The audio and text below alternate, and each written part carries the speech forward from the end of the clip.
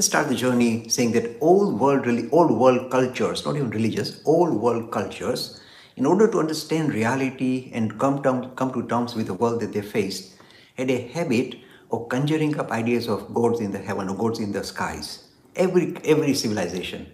Uh, for example, in the Western European civilization, you see the idea of paganism, looking at nature to try and resolve your condition. In the Greek civilization, you got the ideas of gods related to the sun god, uh, the sea god, uh, etc. So, and, and in Hindu tradition also, we had this idea of uh, Indra and Agni and Varun. So we all were trying, the earliest ideas of God were really trying to give, personify the forces of nature so that we can build relationship with nature. And one of the biggest problems ancient human beings had was rain. So for example, in the Central American republics, you see this idea that if the rain fail, they will offer not only animal sacrifice to please the god of rain, they would in fact, you know, pull out the heart of a living human being and offer it to this uh, ultimate, you know, this, this god as a rain god to get rain. So this kind of thing used to happen throughout all world civilizations, including Hinduism. So we also had Agni and Vayu and Varun and Indra and so on as different forms of gods that we kind of in a way kind of in charge of forces of nature. This is how it started. This is how the journey started.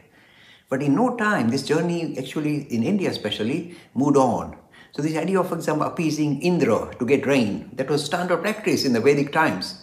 Suddenly we see with the, the story of Krishna something very interesting. People don't realize this Govardhan Puja that we do is in fact the first transition from the idea of God as supreme personality giving us rain called Indra to the idea of empowering human beings. This is the story of Govardhan mountain. Because what happened is this, the story, this is a colorful storytelling. They said, ah, Indra was not pleased with the people in Vrindavan because they were not anymore, you know, worshipping him to get rain. So Indra got very angry, he said, I'll throw thunderbolts and rain and drown all the people in Vrindavan. And of course, Krishna said, Don't worry, I'll lift the mountain. This is mythological part of the story. And I'll lift the mountain, and all of you support me. Stand on your own feet and fight Indra. Stand up against the, the idea of Indra. So you see the transition of gods as, as forces of nature personified as Indra, Vayu, Varun, Agni being seen in the story of Krishna. Trying to shift emphasis not on these forces of nature, but on human beings who sort themselves out. This is the beginning of the journey. So initially, all civilizations personify the forces of nature and appease them. Then we see the transition. And for example, in the European civilization, we had the paganistic idea, means worshipping nature. Again, the same idea. And then we had the Christian, you know, kind of uh, enforcement. Thereby, the paganism was pushed pushed aside, and we had Christianity implanted with the idea of God in the heaven as a father figure. Now, in the Hindu tradition, it's a very interesting journey. And you know, one of my friends, Trevor Maku, said, "Please, Mr. Lakhani, explore this. Such an mm. exciting and interesting subject to explore. Let's, let's explore it." So initially, the forces of nature being worshipped, and slowly we said, "No, that doesn't seem right." So we're kind of focusing on human beings who sort themselves out. Wonderful idea. You see the transition. So not a God in heaven.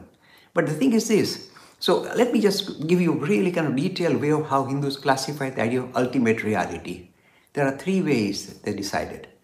One is called Nirgun Nirakar. This is the principle oriented Hinduism that was discovered through the ideas of Kapil, saying our essential nature is different from the world that we encounter. So the idea of Atman and Brahman is considered, both these ideas are considered to be Nirgun, Nirakar. They don't have any attributes whatsoever and they don't have any shape. No shape, no attributes. The, the very depth of Hindu philosophy started with Kapil. So this idea of looking at our own essential nature as a principle, not as a personality, is the beginning of Nirgun Nirakar Brahman, the idea that is one of the best, kind of most philosophically oriented vision of Hinduism. This is called esoteric Hinduism. And the reason why I'm introducing is this.